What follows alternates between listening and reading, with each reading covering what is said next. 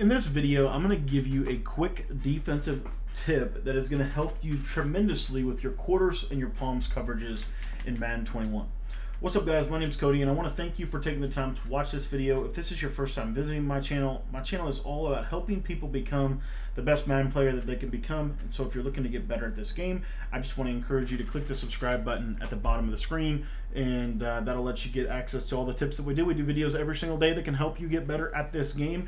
And in this video, we're talking about match coverage, especially against compression.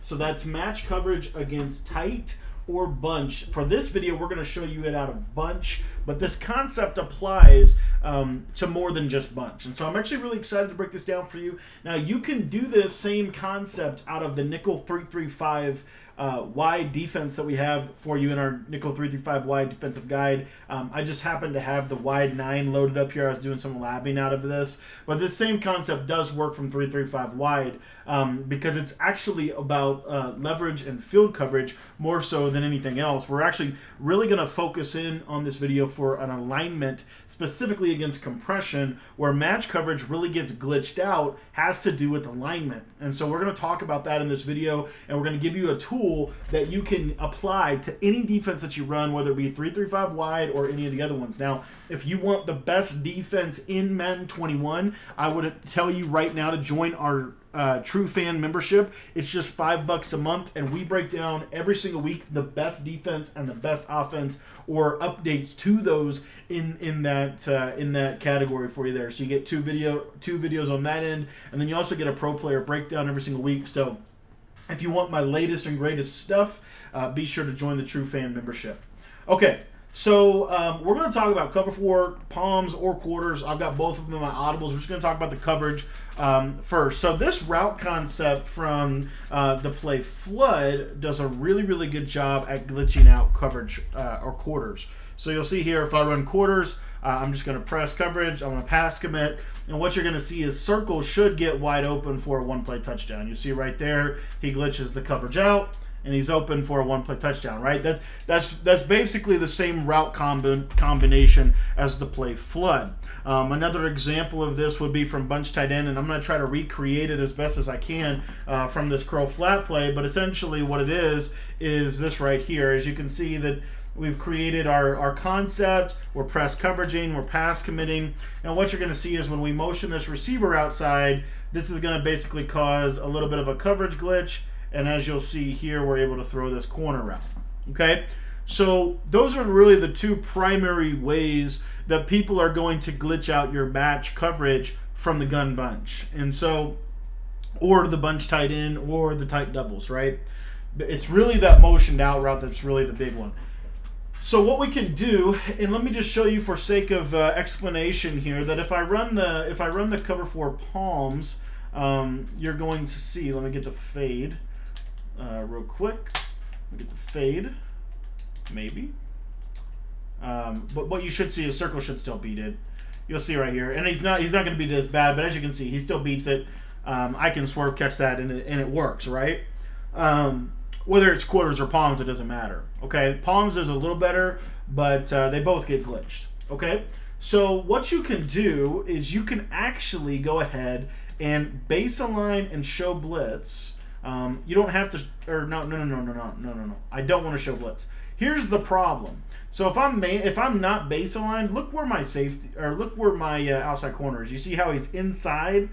If I base align, now you see he's outside. The reason this is significant is we never want this corner to have to take R1. We want the quarter flat to take R1. And so by this little alignment trick, what you're going to see is if I try to go to the same, um, whoops, let me, let me get this, uh, let me get an out route out here for this guy. There we go. Okay, so if I try to go to that same route combination, now what you're going to see is you get proper matching and we take that route combination completely away because we've now triggered in the in the quarters coverage in the in the actual coding of the game we've triggered this outside leverage that is very very valuable. Let me break this down in this replay. I'm going to show you what's going on here. So if we look at the coverage it's really important to look at who these guys are looking at okay? It's really really important. So what you're going to see here is 37 is instantly looking he's going to split. So he's splitting between these two. Whichever one goes vertical, and by vertical I mean a streak or a post or a whatever. So in this example, 81 goes vertical, which he's the outside of the bunch. 37 takes him. And now look at this. We've taken away the play flood.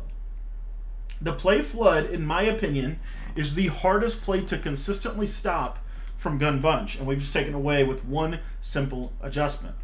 This base align and press out of the cover four quarters is going to help it play a lot more like it should have already played in the first place. Um, let me give you another example. Let's take R1 and let's send him vertical. And let's just basically do the same route combination and just change who is on the routes. What you're going to see is we're going to get proper matching principles once again. That safety does not get glitched out whenever you base the line. It's a really, really important point. I have been um, testing this out in, in, in, MUT, in, in MUT today, and I've been having a lot of success with this coverage. Now let's try to do something like this, right? Maybe a traditional, you know, Z-spot type of flood concept. Um, let's just, for the sake of the video, put the running back on a streak, maybe a slant. You know, really trying to get this coverage to, to break. And what you're going to see is it plays darn near perfectly.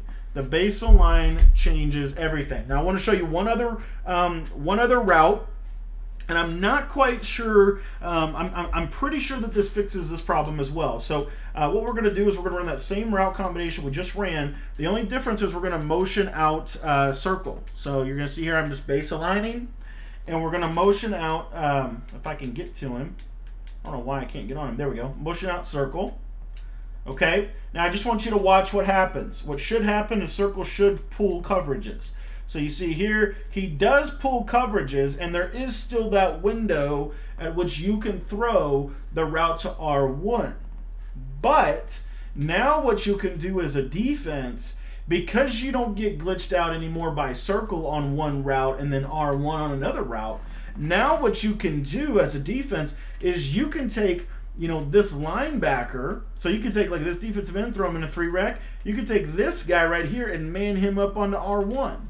And now what you're going to see is if we run that same combination, we're going to have a decent opportunity to be able to make a stop. You see here how the defense flows, and look at the safety help. He's throwing in a triple coverage. You've got people over in that vicinity. Because we've solved one part of a cover four quarters glitch with base alignment so we don't get base we don't get burned anymore over the top. The base aligned defense this year is super super underrated. Um, let me give you another example. Let's do something like um, let's just do something like this right here. Um, and I just want you to watch R1 you're gonna see the match coverage plays flawlessly and we're able to get interceptions. Base align your match coverage. Try it out. Let me know what you think in the comments. If you have not already gotten my uh, cover four quarters uh, defensive guide, you can get that in the description of this video. I've been running match for about seven or eight months now, and this right here is the one thing that I think I've been missing. So try this out. Let me know what you think because you get really, really, really advanced coverage with this. You can do this out of Big Nickel over G. You can do this out of um, Gun Bunch. You, which the real big thing that I want to hammer home though is you want to keep this guy outside of R1. If he were, if I were to show blitz, I just want to show you what's going to happen. So if I were to show blitz here and we ran the and we ran the flood concept, I'm trying to create that for you here. So we're running flood, right? Watch Circle. All of a sudden now, I mean, it, it does play better, but you you can do a little bit of you know a little bit of lob shrieking action or whatever. So I would just tell you baseline and press and that's it and and you'll be surprised at how this will play this will play really really solid on both sides of the field um, you're gonna have a lot of success with this against three by one whether it be tight doubles, whether it be bunch, whether it be bunch tight end. This is a very solid way to deal with compression sets um, because compression sets, I think, give the quarters coverage a little bit more trouble um, because the match rules don't always pan out the way they're supposed to. So this will help your defense play more exactly like it's supposed to, more based on its actual rules than um, then, um, then then what'll happen if you don't. So I would encourage you baseline and press your match coverage. Let me know what you think, how it works uh, for you, and if you haven't gotten the defensive guide yet, it is available down in the description for you.